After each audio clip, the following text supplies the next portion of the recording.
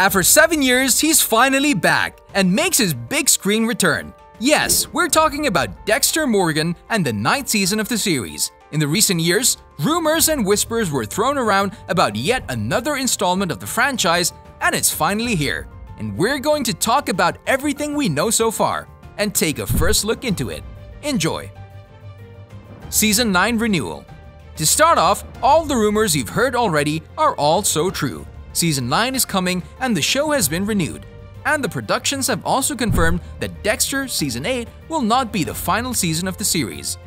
There are not many details before us about the next season coming, but as we go through the topics, we'll share everything we managed to find and get you that much closer to what to expect from the ninth season of the show.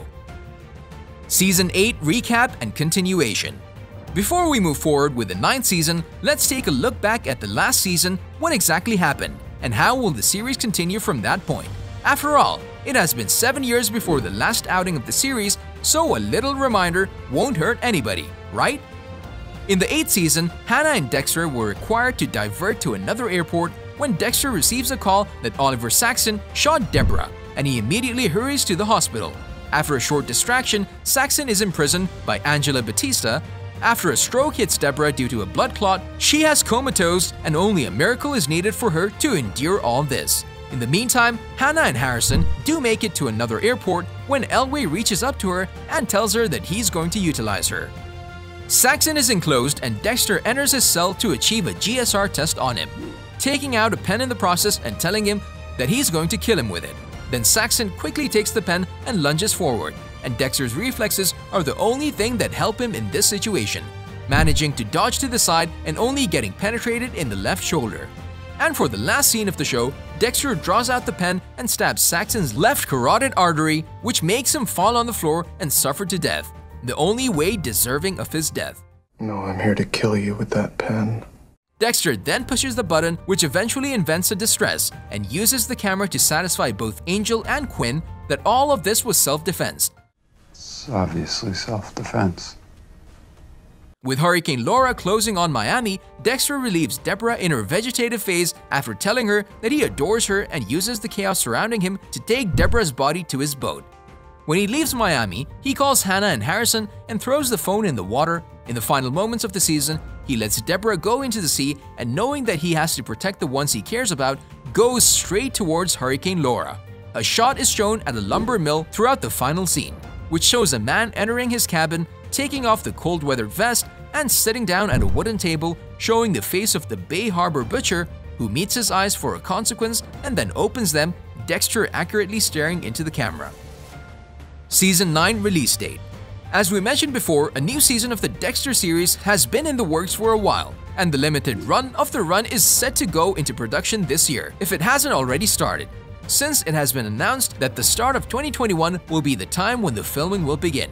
Gary Levine, the co-president of entertainment, also said that the series will continue only if they manage to find a creative way for the character and his future, and by the looks of things, they definitely did. Or at least something worth revisiting the series itself.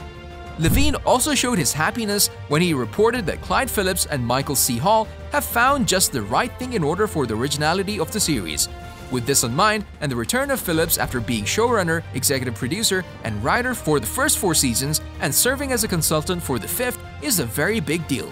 However, he's not the only one who's coming back to the show, but more on that a little bit later.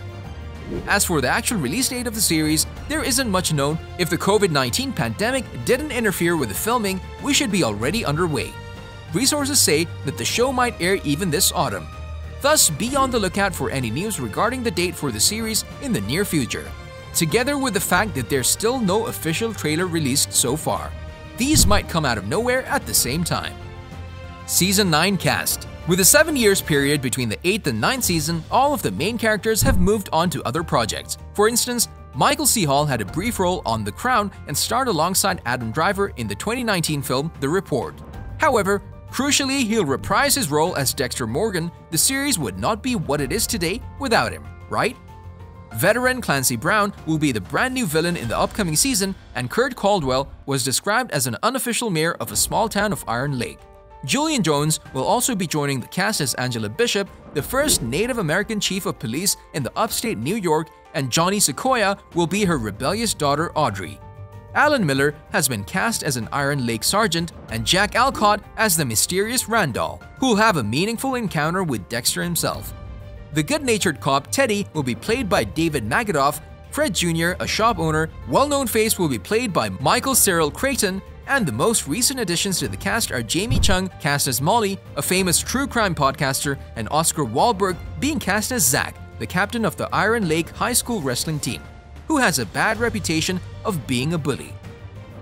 Season 9 Plot No major details have been released about the actual plot of the ninth season, but Phillips was not shy of giving us a little insight into it by saying that the season will feature Dexter's return from the wilderness, or whatever he's been in the years past ever since the finale of the 8th season in 2013. When Dexter was last seen, he faked his suicide and left Miami behind, heading to the forest of Oregon to become a lumberjack maybe. A little off the road from his world of his police job as a blood spatter analyst, don't you think?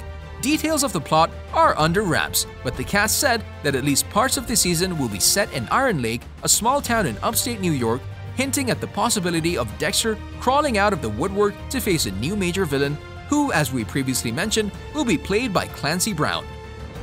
Many fans were let down by the ending and Phillips who left the show after season 4 with him saying that he would have ended the series with Dexter's execution, being watched by all his previous victims, so maybe this is what lies ahead for Dexter in the end of the revival of the season. However, we'll have to wait if this will be the case. Phillips also said that the ninth season will reflect the time passage between the last two seasons, which could evidently make it right with all the Dexter fans.